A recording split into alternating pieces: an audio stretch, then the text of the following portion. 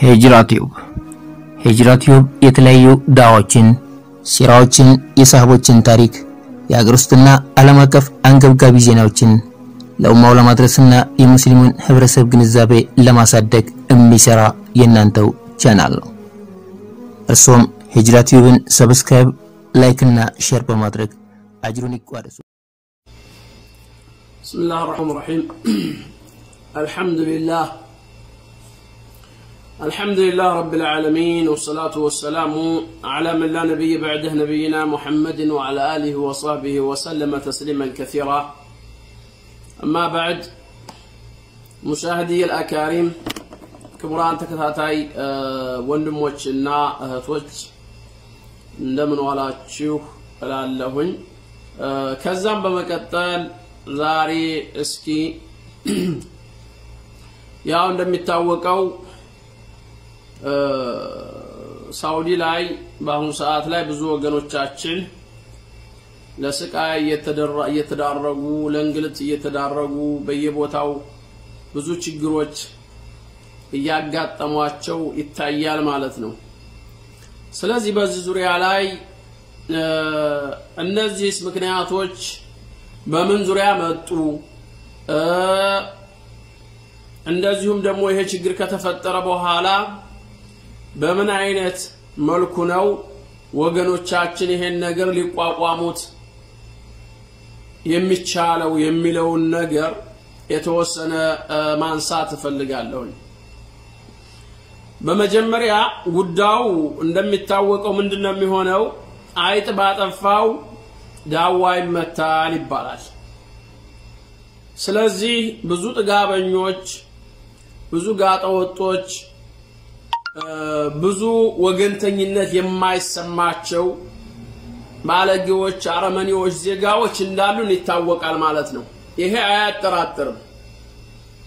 ስለዚህ እነሱ ባጠፉት እነሱ በሰሩት ታላላቅ ሰዎች እዚህ ሀገር ላይ ሰባ ሰማንያ ዓመት የኖሩ ሽማግሌዎች እንደዚሁም ደግሞ ቋንቋቸው አረበኛ የሆነ እዚሁ ተወልደው እዚሁ አድገው ምንም አይነት አማርኛ ቋንቋ እንኳ የማይቻ መናገር የማይቻሉ ህፃናቶች፣ ሴቶች ብዙ ብዙ የሚባሉ ዜጋዎች በአሁን ሰዓት ላይ ሱፐር ማርኬት እንኳ በሚሄዱ ሰዓት ኢትዮጵያ እየተባሉ እየተያዙ ይሰቃያሉ ማለት ነው። ነገር ግን ለዚህ ሁሉ ሁኔታ እንድንዳረግ ያደረገን ምንድን ነው? ጥፋታችን ምንድን ነው ወደሚለው የምንመለስ ከሆነ ያለምንም ማሻማት መጀመሪያ ላይ ጥፋታችን የራሳችን ነው። ትልቅ ጥፋት አለብን። አንደኛ ነገር ስንኖር ራሱ ስርዓት የለንም። ብስሚላህ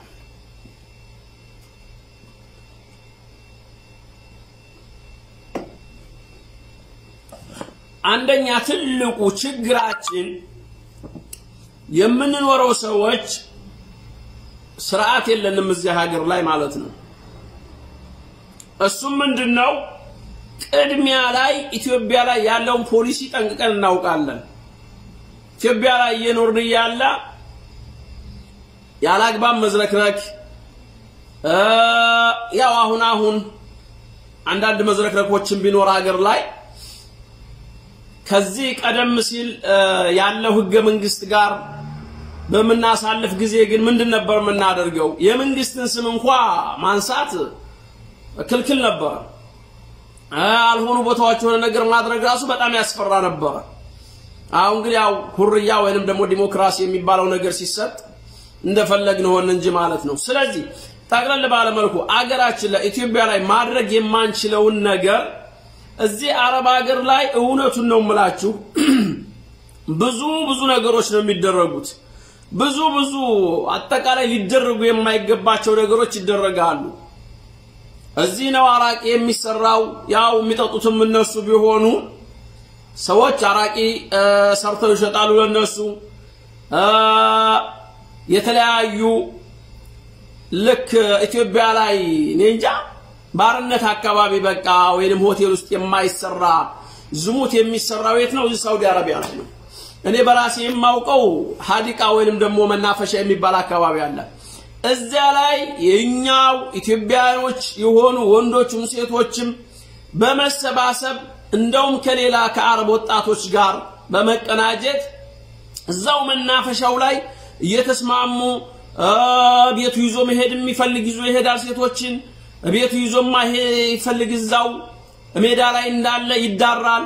ይሄ ይሄ ነገር ሁሉ እነዚህን ሰዎች አንደኛ ነገር ብልግና የሚባለውን ነገር መጥፎ ነገሮችን ሁሉ ያስተማራቸው ማን ነው ከተባለ ይኛው ኢትዮጵያዊ ነው ማለት ይቻላል።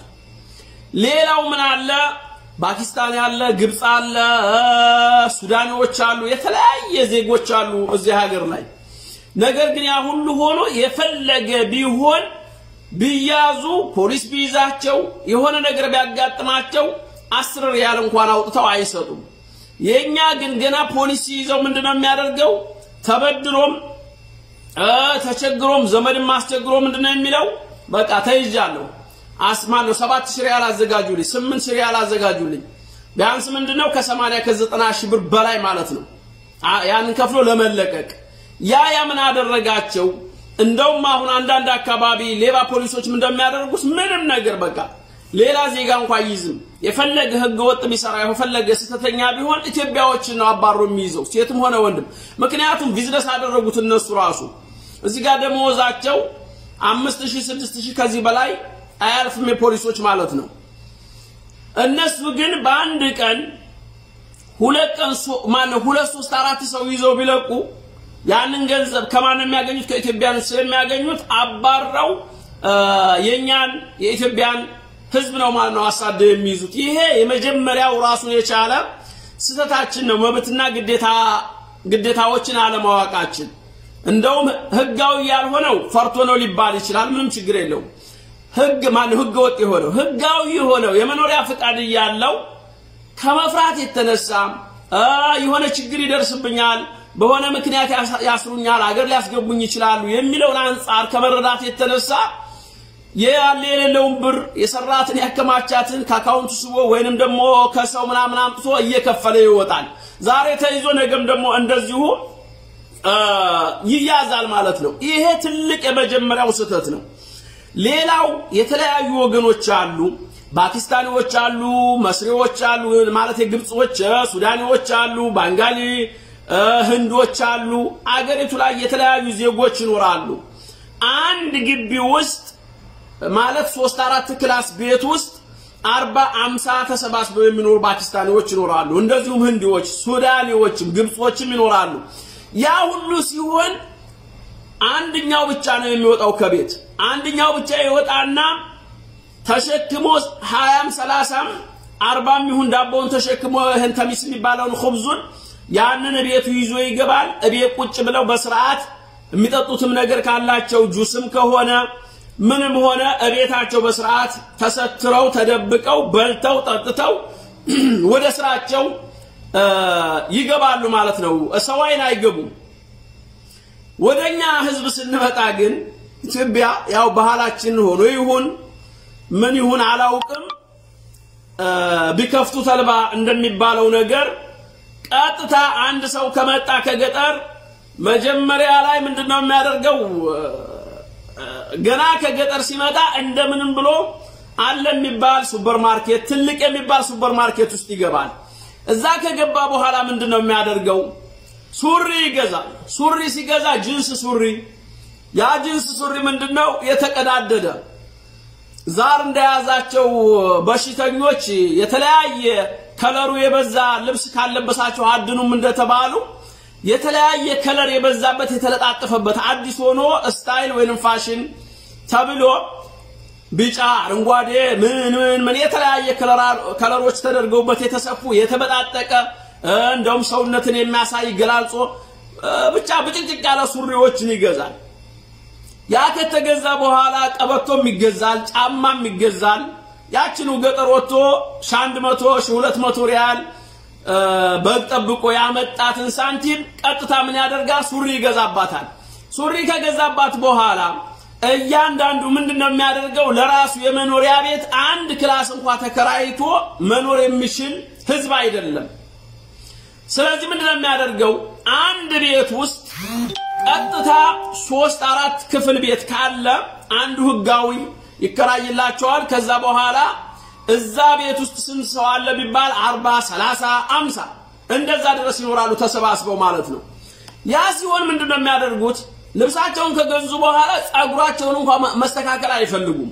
ጸጉራቸው ተንጨብሮ በጣም ጸጉረ ልውጥ ሆነው አስፈራርተው በሚያስደነግጥ መልኩ ቀጥታ እንደውም እንደ መኮረኒ እንደዚህ ይጠመዝዙትና በቫዝሊን በምናምን አድርገው አንጨብረው ብቻ የሚያቸው ሰው ራሱ ይደነግጣል። ምንድናቸው ነው የሚለው ማለት ነው የሚያውቃቸው በዛ ስታይል የሆኑና ምን ያደርጋሉ? አንዳንዶቹ እንደውም ጆሯቸው ላይ የሆነ ነገር ተበስተው ያንን ያንጠለጥላሉ። ሌላኛው ደግሞ ምንድነው የሚያደርገው? ሱሪውን ዝቅ አድርጎታች እታች እንግዲህ ወንድ ልጅ ሱሪ ከኔንጋ ሱሪ በቃ መታጠቂያ ራሱ ቦታ አለው። አሁን ግን የመጣው ጊዜ ምንድነው የሚያደርጉት? ስልጣኔ ተብሎ ሱሪያቸውን እቂጣቸው በታች ግማሽ ቂጣቸው ይታያል ጎንበስ ሲሉ ማለት ነው። እንደውም ዝም ብሎ ከታይ ህፃን ቢሆን ሳብ ቢያደርገው ሱሪያቸውን ውልቅ ብሎ ይሄዳል። አጠቃላይ እሱን ካደረጉ በኋላ ከላይ የሚለብሱት ሸሚዝ ወይንም ቲሸርት እንደዚሁ ደግሞ እምብርታቸውን የሚያሳይ የተጎረደ ያንን አድርገው ምን ያደርጋሉ? ሞሲ ምናምን ይገዛሉ፣ የሆነ ጁስ ይገዛሉ። ያችን ጁስ እቤት እንኳ ይዘው ወስደው አይመገቧትም። ያችን በአንድ እጃቸው ተሸክመው ማን አለብኝ ብለው በሰው ሀገር ላይ በሰው ሻራ ላይ ያ ሁሉ ሆኖ ሁለት ሶስት ሆነው በአንድ ላይ በየበሩ እየተቀመጡ እረ ባካችሁ ከበር ላይ ተነሱ ከሱቅ በር ላይ እስከሚባሉ ድረስ አንዳንድ አካባቢ መኪና ማሽከርከሪያ እንደውም አታገኝም። በስቦክ እየገፋቸው እየተናገርካቸው ነው የምታልፈው። ያን ያደርጋሉ።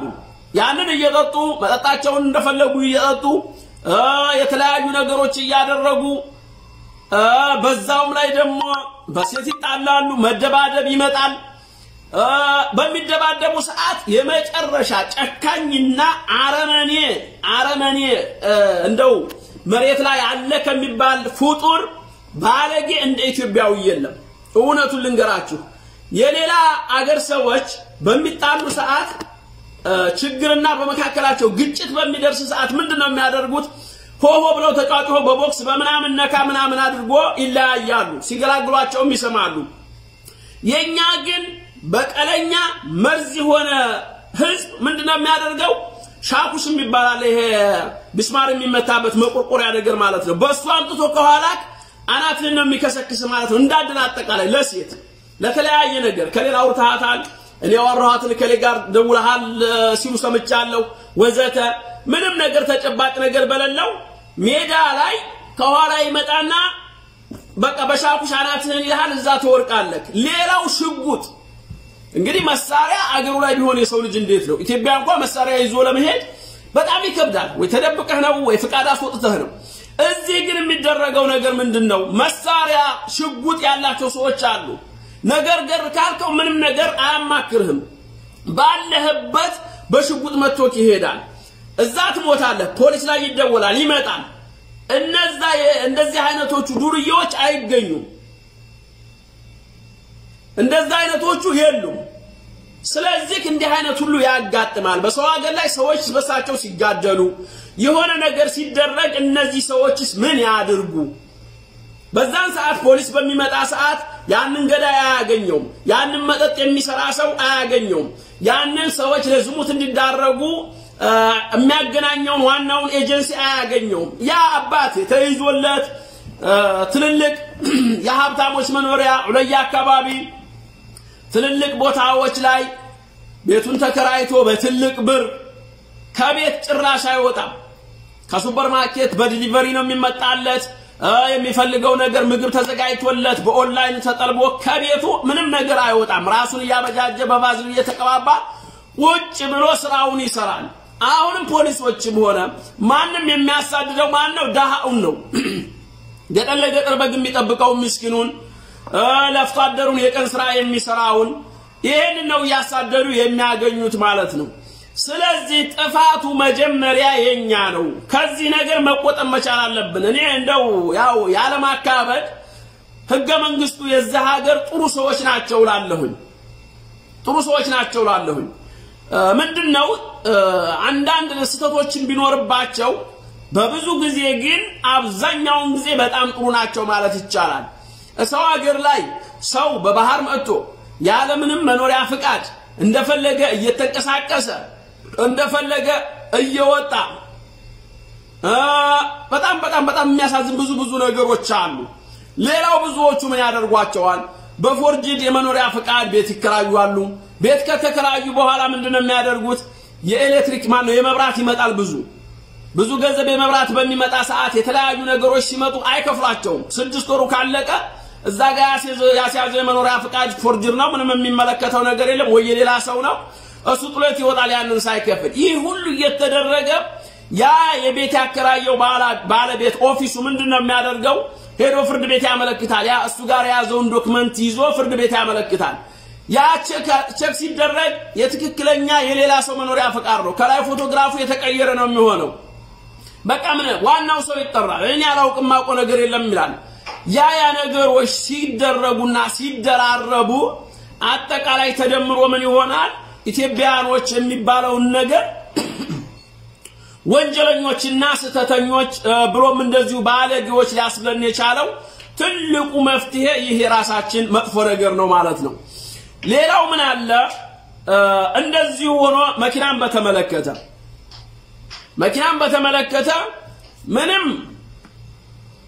አገሩ ላይ አህያ ላይ ቁጭ ብሎ ወይንም አህያ ነርቶ የማያውቀው ሰው ሁሉ እዚህ ሀገር በባህር እንደምንም ፋጥሮ ድኮ በጅቡቲ በበሳሱ ወዘተ አድርጎ ይገባል። ከገባ በኋላ ስድስት ወር ከተቀመጠ በየገጠሩ እየወጣ እየከፈለ ሹፍርናን ይማራል። ሹፍርናን ከተማረ በኋላ ምንድነው የሚያደርገው? መኪና በጓደኛው ስም የተወሰነ ክፍያ ከፍልሃለሁ፣ በየወሩ አምስት መቶም ስድስት መቶም ችግር የለም መኪና ግዛልኝ ይለዋል። መኪና በስሙ ገዝቶ ይሰጠዋል። forged ኢቃማ ይሰራል፣ forged license ይሰራል፣ ማንኛውም ነገር ማለት ነው። ያ ከተደረገ በኋላ ምንድነው የሚያደርገው? መኪናውን የገዛው ሰውዬ አንድ ቁልፍ spare ወይንም ደግሞ ቀሪውን ቁልፍ እሱ ጋር ያስቀምጣል። ያንኛው ዋና አንድ ቁልፍ ይይዛል፣ ይሄንኛው አንድ ቁልፍ ይይዛል። ያንን ያደርግና ምን ያደርጋል? ይሄንኛው ባለው ትክክለኛው የመኖሪያ ፈቃድ ያለው በቃ ከተያዝክ ምንም ነገር የምትለው ነገር የለም። እኔ በአጋጣሚ ሱቅ ልሄድ አንስቸው ነው በል። ያንኛው ደግሞ እኔ ከተያዝክ አንተ በአጋጣሚ ከቤት ቁልፍ አንስቶ ወስዶብኝ ነው እላለሁ።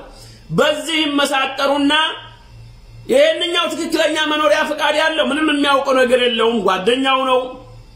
በትክክለኛ መንገድ ይጓዛል ብሎ በስሙ መኪና ገዝቶ ይሰጠዋል። አንዳንድ ነገሮችን ይተባበረዋል። ያንኛው ግን ለዚህኛው ራሱ አያዝንለትም። ምንድነው የሚያደርገው? የራሱ ጉዳይ። ሲፈልግ መጠጥ ያዛውርበታል። ሲፈልግ የተለያዩ ስርቆቶች አሉ። ባንክ ባንክ ድረስ የሚሰርቁ አሉ እኮ ምንም ስራ የሌላቸው ምንም ስራ የሌላቸው ብዙ ኢትዮጵያኖች እኔ በራሴ እንግዲህ የሚያጋጥመኝ አለ አንዳንድ ቦታዎች ላይ ማለት ነው።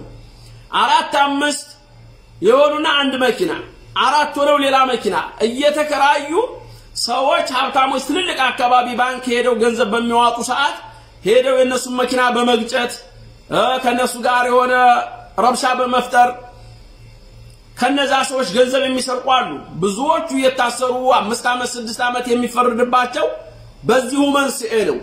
አጠቃላይ ጠቅልል ባለ መልኩ ወንጀሎች እየተደራረቡ በተለያዩ ወገኖች በሚፈጸሙ ሰዓት ጥፋተኞች አጠቃላይ ማን ነው? ኢትዮጵያ ነው ማለት ነው። ይሄ እንግዲህ ባጠፋ ዳዋ ይመታል የሚባለው ይሄ ነው። እንደዚሁም ብዙ ባለጌዎች፣ ብዙ ህገ ወጦችም እንዳሉ፣ ብዙ ስርዓት አልባ ሰዎችም እንዳሉ ደግሞ ምስኪኖችም አሉ። የቀን ስራ ሰርተው ጧት ወጥተው ለፍተው በጉልበታቸው በረሃ ላይ በግ ጠብቀው በተለያየ እስቲራሃ ላይ ዘበኝነት ሰርተው ያችኑ የሐላል ገንዘባቸውን የሚይዙ በረሃው ብርዱ የተፈራረቀባቸው ውሃ ጽሙ ብሎም እንደዚሁ ፖሊስ ሲመጣ መሸሹ መደበቁ ይህን ሁሉ አድርገው ትክክለኛ ርዝቅንም ፈልገው የሚኖሩ ወገኖች አሉ። አሁን ግን ለእንደዚህ አይነቱ አደጋ ሁሉና ለብዙ እንግልት የተደረጉት የተዳረጉት እነማን ናቸው ወደሚለው ስንመጣ እነዚሁ ደካሞች ናቸው። እነዚሁ ደካሞች ናቸው። እነዚህ ደካሞች በሚያዙ ሰዓት ሚስት አላቸው፣ ልጅ አላቸው። እነዛ ልጆች ልጅና ሴቶች ባዶ ቤት ይቀራሉ። ለምሳሌ እሱ የቀን ስራ ሰርቶ ሊሆን ይችላል የሚያቃምሳቸው። እሱ በሚያዝ ሰዓት ሴት ልጅ ብቻዋን ልጅ ይዛ እቤት ትቀመጣለች። የቤት ኪራይ የሚከፍል አይኖርም። የኤሌክትሪክ ይመጣል የሚከፍል አይኖርም። እንደዚሁም ደግሞ ለሰፈር ዱርዬዎች የተለያዩ ጥቁቁር ዱርዬዎች አሉ። ለነዛ ራሱ ትጋለጻለች። ብቻ አጠቃላይ አገሪቱ ላይ ያለው ችግር በጣም ውጥንቅጡ የወጣ ነው ማለት ነው። ስለዚህ መፍትሄው ምንድን ነው ወደሚለው ከተመጣ ብዙዎቻችን መንግስት ምን አደረገልን ምን ምን እንላለን። ይሄ ነገር የመንግስት ጉዳይ ብቻ አይደለም።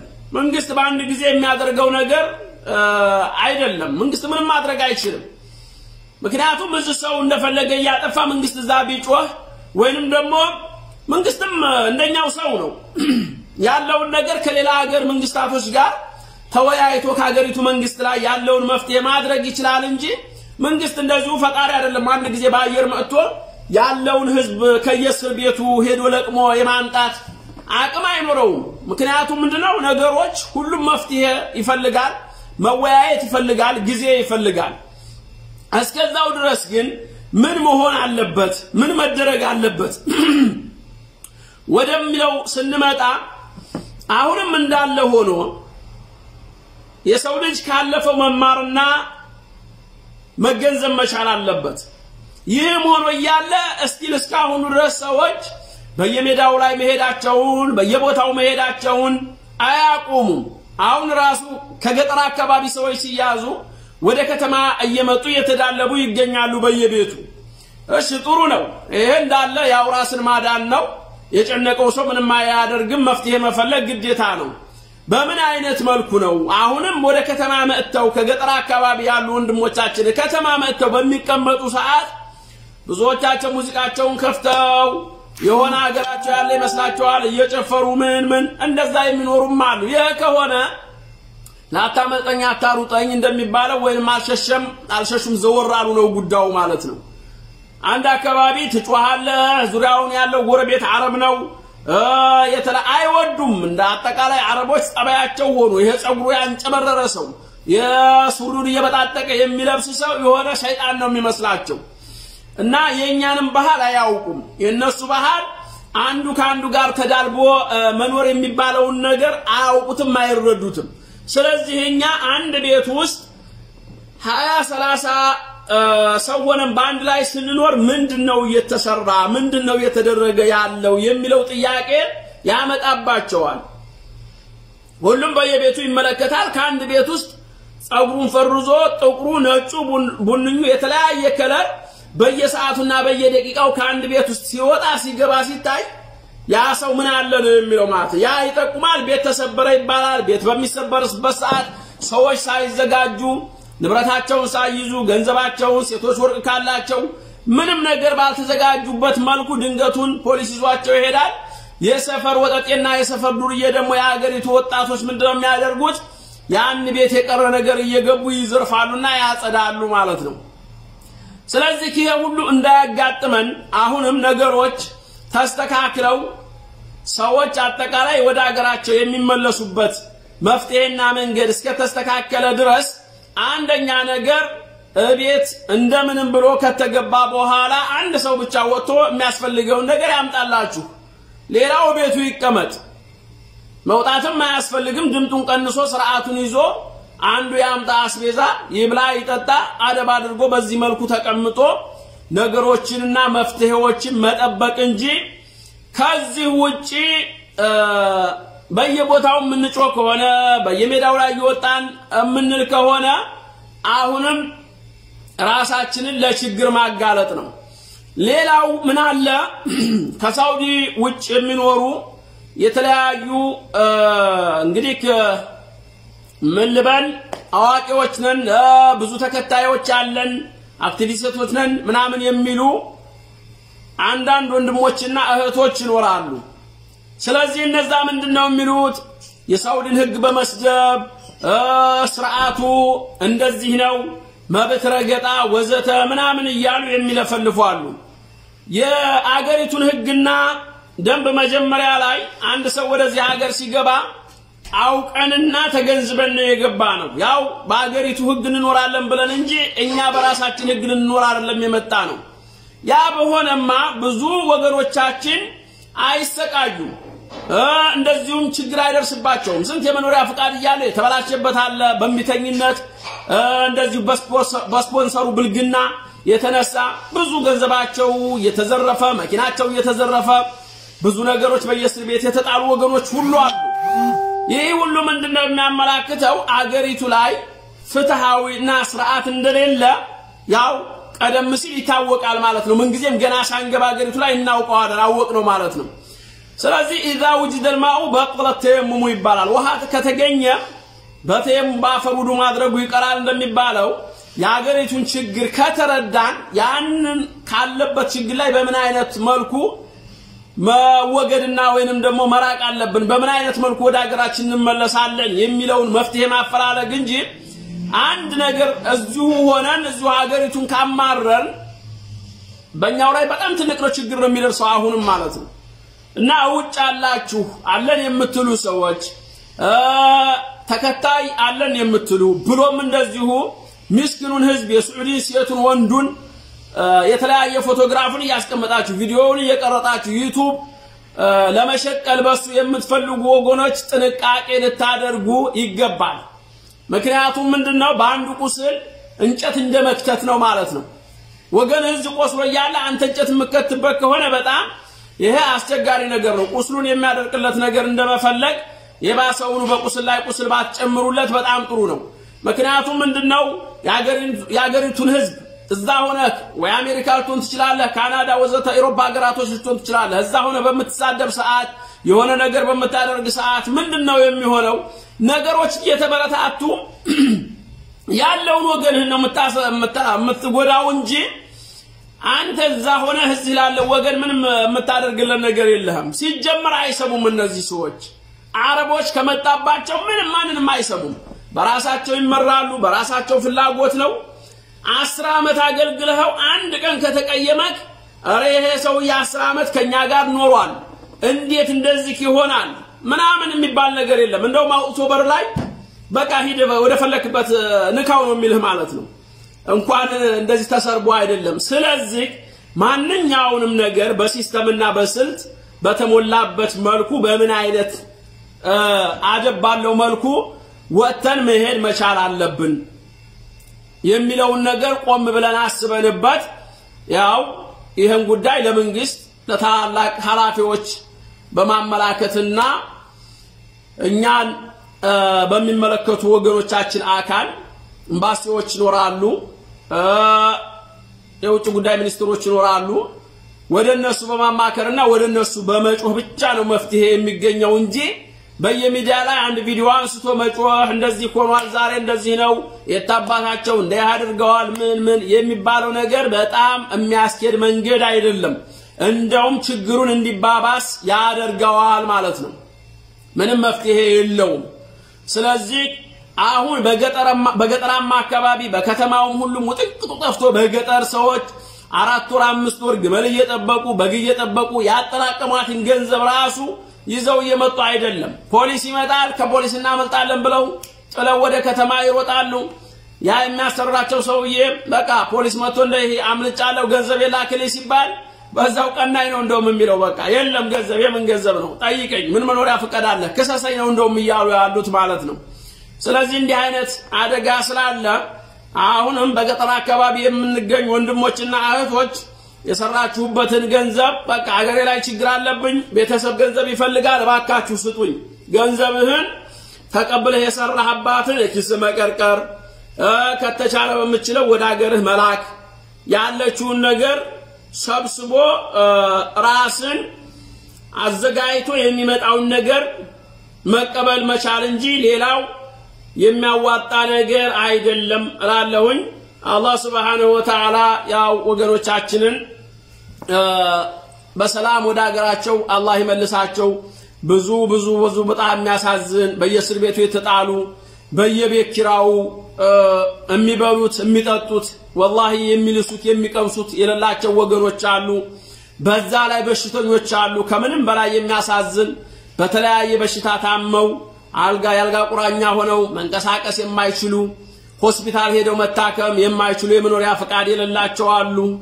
በአሁኑ ሰዓት ላይ ሆስፒታል ሄዶ መታከም ቀርቶ አንድ ሱፐር ማርኬት ለመግባት ራሱ ተወከልና አምጡ ምን አምጡ ምን እየተባለ ያ ደግሞ ትክክለኛ የኢቃማ ቁጥር የተመዘገበ መንግስት ጋር ከሌለ አይከፍት አይሰራም እና በጣም በጣም ብዙ የሚያሳዝኑ ነገሮች አሉ። እነዚህን ሁሉ ልንዘነጋ አይገባም። በተቻለ አቅም ያው አገሪቱ ላይ ያለው ሰው መተዛዘን መቻል አለብን። ልክ ታመው ቤት የተኙ እንዳላሉት እስከዚያ ፍንክችም አልልም የመጣው ቢመጣ ከበጎ ዓላማዬ